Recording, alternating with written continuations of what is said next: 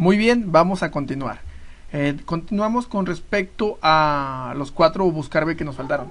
Para esto vamos a seleccionar esta información, control C, la parte de abajo, control V, y se pueden dar cuenta me copió prácticamente todo.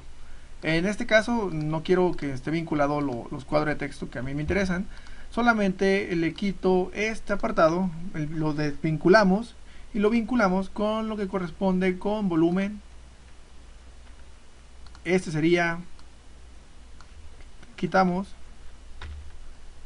y sería variante, porcentaje de variación, lo quitamos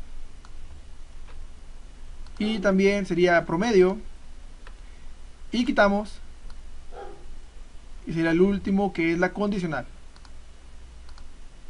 Perfecto de esta manera tenemos ya toda esta información seleccionada de esta manera vinculada voy a darle doble clic para que me copie estos valores. En la, lo que viene siendo eh, este cambio este bajó un poquito condicional. Estos dos quitamos y, y quitamos el tamaño. Promedio estaría así condicional. No estoy aumentando. Así perfecto. Y aquí quitamos la vinculación que corresponde a la que, que era del ejemplo anterior y la vinculamos con lo nuevo con las cuatro que nos faltaban sería esta también sería quitar y desvincular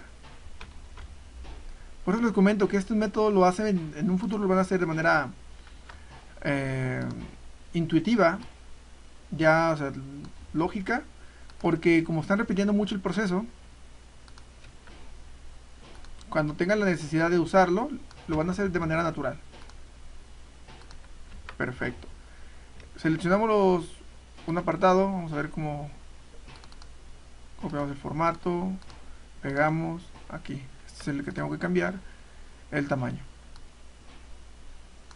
Y ahora sí, podemos darnos cuenta que dependiendo de la fecha que estemos seleccionando, nos va a decir todos los detalles de estos indicadores. Un ejemplo, la acción de Tesla. De hecho, aquí creo que voy a tener que agregarle eh, Tesla. Y esto va a ser muy importante también. Pero cuando llegue el internet, porque no me ha llegado el internet, de hecho, no hay internet. Por eso no puedo enviarles estos videos todavía. Eh, yo creo que un tiempo, un, rato más. Eh, pero va a ser importante tener el logotipo de Tesla para vincularlo para su propia página web. Aquí podemos ver los indicadores que la acción que estuvo el 8 de febrero de 2019 valía tanto. La acción del día de ayer, o sea, el día de hoy, más bien, no, se crea, no está tan actualizado. Del 11. El día 11, este activo cotizaba a 972, fue el cierre. La apertura fue 987 el máximo 1018 dólares, mínimo 972. Una variación de un 5%. Esto es muy importante tenerlo en cuenta. Cambiarlos a porcentaje. Ahora sí. Una variación de un menos 5% y un promedio de 9.878 wow, el incremento que tuvo promedio de la apertura máximo y mínimo fue entre 9000 917.85 aquí tendría que ser punto 5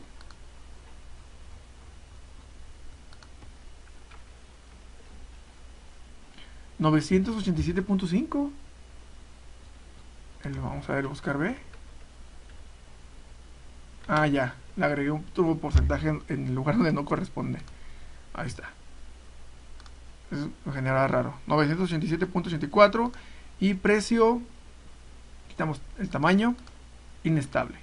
De esta forma podemos trabajar y podemos ver que nos dice cuánto lo que nos recomienda esta acción. Estamos tomando como punto de referencia 500 dólares. Es nuestro punto de referencia para poder estimar de que se esté inflado o no esté inflado. ¿Cómo es posible que una acción que el febrero estaba en 490 y tantos. Un ejemplo, aquí vamos a darlo.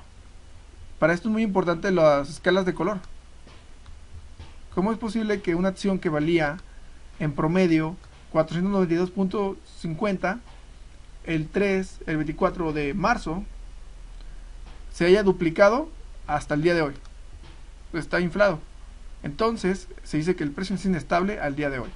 Eh, bueno, el día 11, hace dos días. Y también nos falta agregar otros apartados con nuestra fórmula. Aquí tenemos el contar punto sí, sumar punto sí, el buscar B y también tenemos que agregar otros apartados. Para esto vamos a agregar aquí aquí vamos a agregar otros indicadores. Pero lo vamos a agregar en otro video porque aquí ya van 5 minutos. Nos vemos, adiós.